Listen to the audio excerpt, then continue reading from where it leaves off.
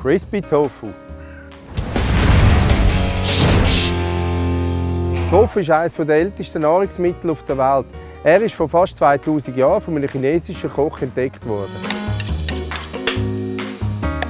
Tofu passt vielen wegen der Konsistenz nicht. Mir geht es ähnlich.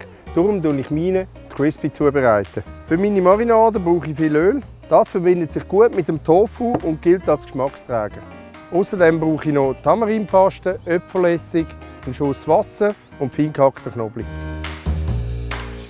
Je länger der Tofu in der Marinade ist, umso intensiver wird der Geschmack. Damit mein Tofu crispy wird, und panieren. Ich gebe Nährhefe, Weizenkeim und Mehl in eine Schüssel. Für die Würze brauche ich Salz, Pfeffer und Paprika und tue alles gut vermischen.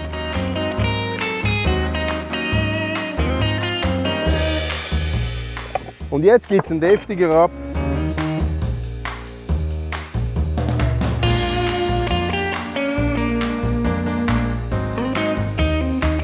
Wenn der Tofu paniert ist, braucht er ein bisschen Ruhe und ich gebe mir eine Abkühlung.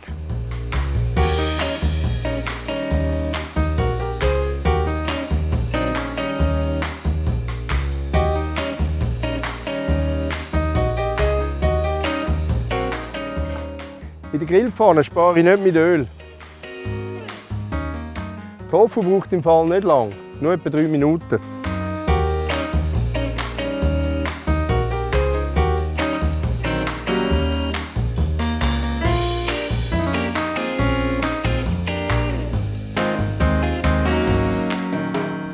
Wow, Hammer Crispy, da freue ich mich jetzt drauf.